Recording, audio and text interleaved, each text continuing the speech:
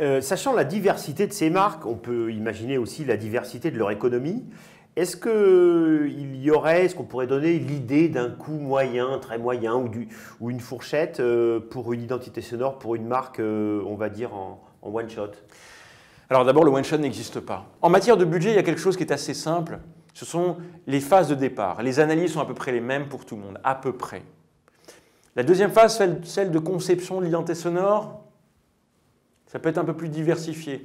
Nous, on a, pas mal de PME et sur une PME, les budgets sont beaucoup plus euh, euh, petits, non pas parce qu'elles ont moins de moyens, mais c'est qu'on y passe moins de temps. Généralement, on a un accès direct aux dirigeants et euh, les échanges sont très, très fluides.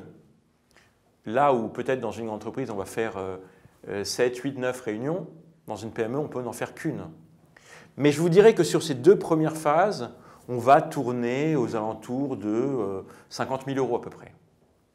Pour le reste, je ne peux pas vous donner de fourchette parce que euh, quand une entreprise derrière va nous dire voilà, j'ai quatre points de contact, ou Huggies qui nous dit il y a 60 pays, il y a 25 films qui arrivent, et au-delà des films, il y a les applications événementielles, les applications radio, on n'est plus du tout sur la même échelle. Je crois que la, question du budget, en réalité, se pose de la même façon qu'elle se pose quand vous achetez une voiture. Quand vous achetez une voiture qui vaut 5000 euros, la plupart du temps, c'est 5000 euros. Et euh, est-ce qu'il vous arrive aussi de faire euh, de, l'accompagnement, on va dire du consulting en amont sans nécessairement euh, être l'entreprise qui va être choisie? Ah, j'ai cru que vous alliez finir autrement, sans nécessairement créer derrière. Oui, bah, c'est ce que je veux ben, dire. En fait, on a des missions de, de, conseil pur et dur et on en a de plus en plus. Pourquoi? Parce que parfois, les marques se rendent compte que ce n'est pas le bon moment pour créer, mais par contre, c'est le bon moment pour préparer la création. Et donc, ben, on a actuellement une entreprise euh, qui nous a dit, euh, vraiment, vraiment, c'était la semaine dernière, bon voilà, je sens que moi, je vais devoir évoluer sur ma marque. Est-ce qu'il n'y a pas des travaux préparatoires qu'on devrait faire maintenant pour arriver en bonnes conditions Et elle a tout à fait raison. Parce qu'on sait bien que le jour où elle appuiera sur le go de la création, on aura peu de temps et qu'ils auront beaucoup de choses à faire parce qu'ils vont refaire l'identité visuelle, donc ils vont faire identité sonore, ils vont repositionner la marque, ils vont être sous l'eau. S'il y a une partie de travail qu'on peut faire de façon préparatoire, on y gagne pour deux raisons. Un, on gagne du temps. Deux, eux, ils arrivent mieux préparés, ils comprennent mieux les ambitions de leur identité sonore et finalement, ils peuvent mieux le partager à l'intérieur de l'entreprise. Et j'ai vu qu'en termes d'accompagnement, vous proposez aussi un accompagnement juridique, ce qu'on comprend évidemment, puisque les, les, lois euh, selon les pays sont différentes. Quant euh, au fait qu'une musique est libérée, c'est selon des, des, durées qui sont différentes. Selon les...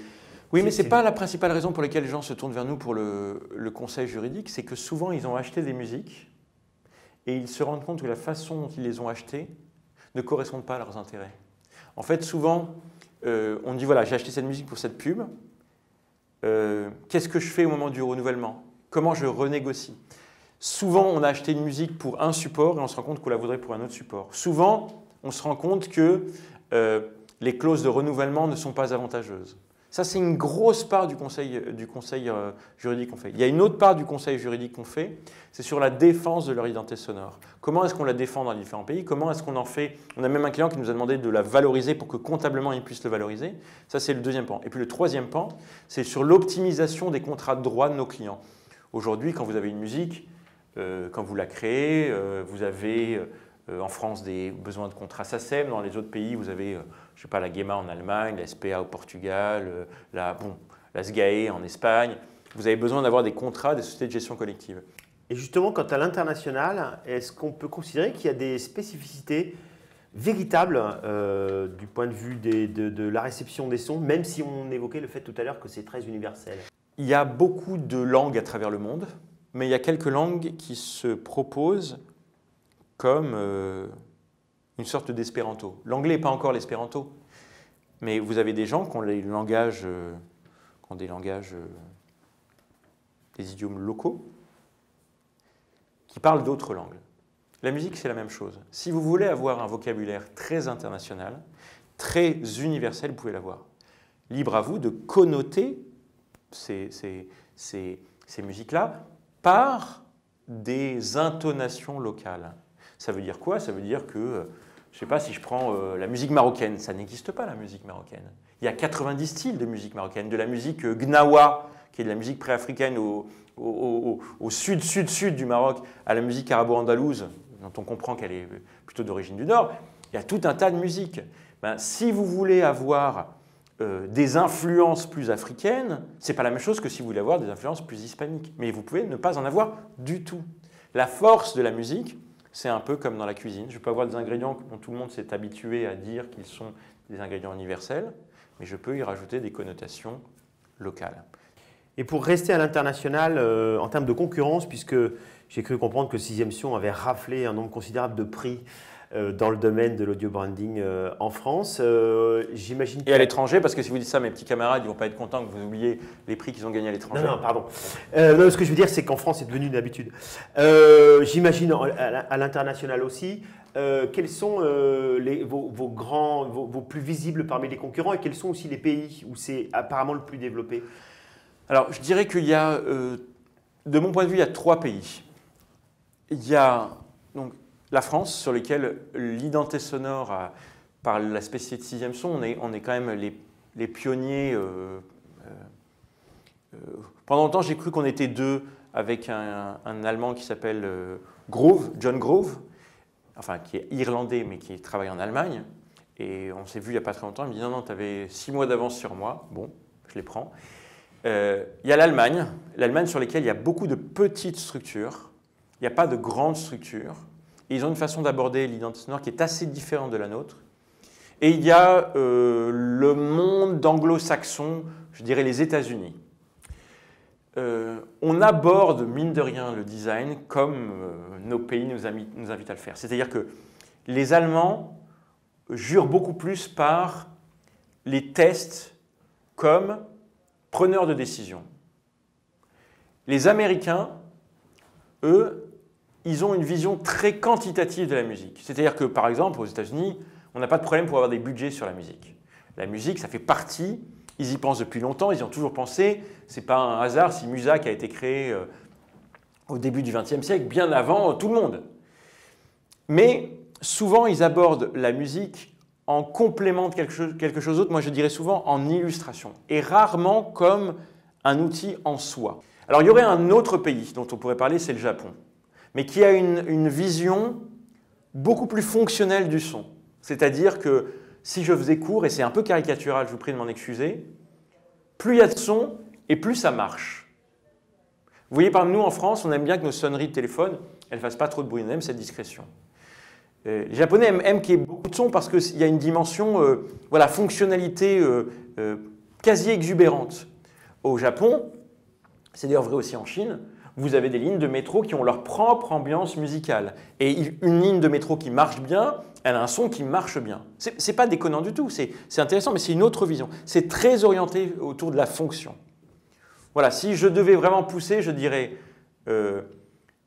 France, Allemagne, États-Unis, Japon, avec des visions très différentes. On, arrive au, terme et pour euh, faire la boucle avec euh, notre MOOC, euh, est-ce que vous considérez qu'aujourd'hui il y a de véritables formations en termes de design musical, que ce soit en Europe ou ailleurs?